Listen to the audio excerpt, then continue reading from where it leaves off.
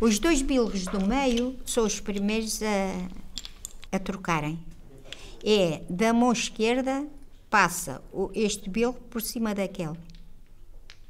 Depois, a mão esquerda torce para lá. Da mão direita, torce para dentro.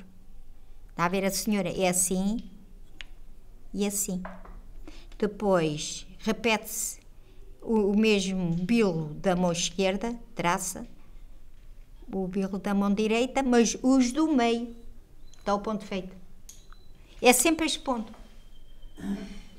Mas também há outros pontos. Este já é diferente. Os cantos das rendas têm sempre um segredo. Pois é, um segredo que está ali. É, tem sempre segredos.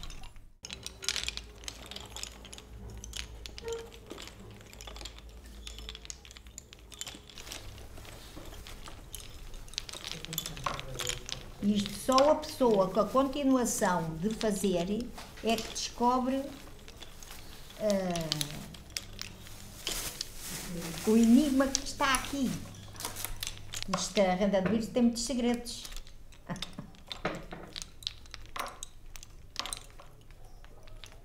Aí eu não podia fazer isto sem na fresquinha meter o birro, não era? Pois.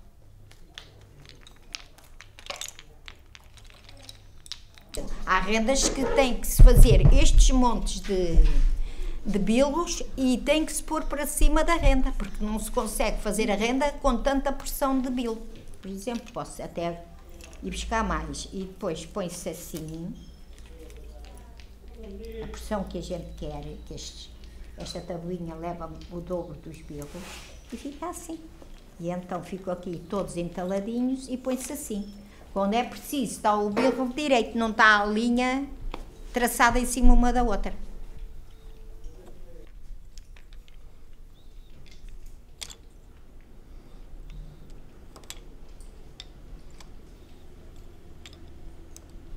Hum, a dobra do lençol de casamento é belos. Era porque eles antes faziam, faziam renda para naprons, para, para tudo, elas faziam renda de belos. Até que a dobra não era o lençol. Era uma dobra separada. Uma dobra separada. E, é- e era pregada, a renda estava pregada em organdi.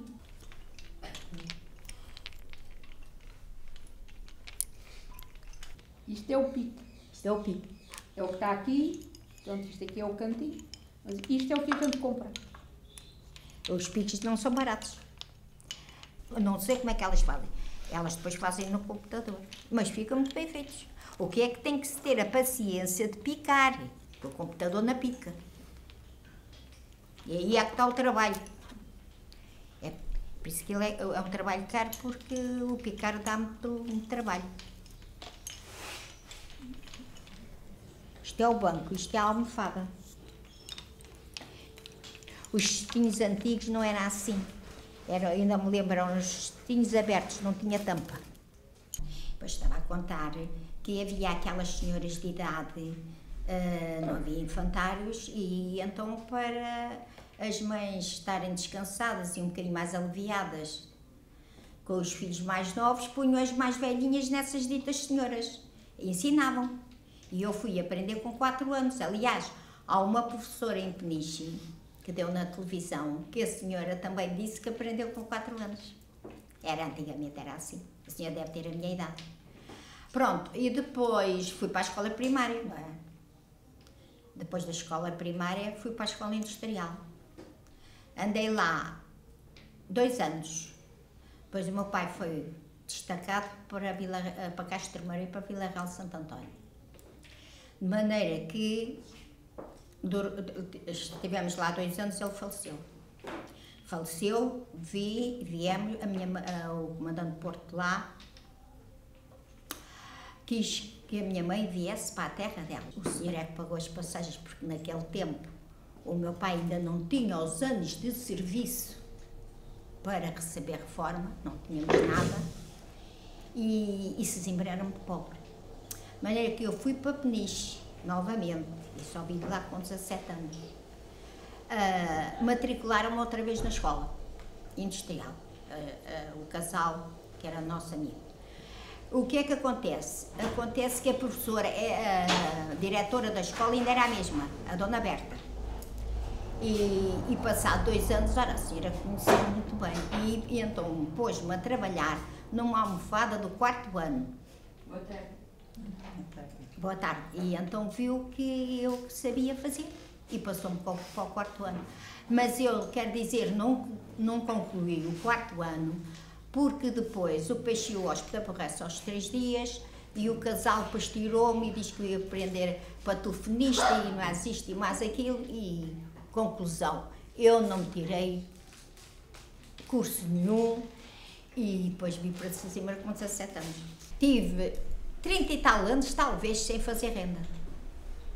Eh, Casei, as minhas filhas, ocupava-me nelas, fazia outras coisas e a renda de pílulas pus de parte. Pus de parte, elas entretanto casaram e eu digo assim, ai, eu vou começar a fazer outra vez renda. E comecei a fazer. Comecei a fazer, de maneira que, olha, até mostrar uma dobra de lençol, por acaso não está aqui esse desenho. E uma senhora que mora aqui na rua disse-me assim, viu a renda e disse assim, ai Francisquinha, mas coisa tão bonita. Ah, Você já- foi perguntar ali à junta se, se a aceitam para ensinar? Ah, então está lá tanta gente a ensinar várias coisas. E eu assim, não, nunca me lembrei disso, disse eu. E, ah, vá, vá de certeza que a aceito. E foi verdade.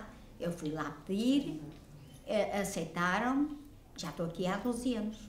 Antigamente as tias desta senhora faziam muita renda e havia mais duas ou três senhoras, ou quatro talvez. Não havia assim também muitas, muitas, muitas.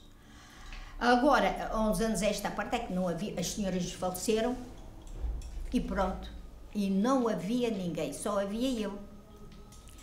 Pronto, e, e como só havia, a, a Câmara e a, a Junta atendeu isso que realmente era não desperdiçar a única pessoa que sabia para ensinar, para ficar ainda a continuação. Tenho a impressão que falta aqui um, um par na frasquinha. Aqui um par de verdes. Falta, falta. Falta Dá cá o este par não é? É. Ah, não. Não é este.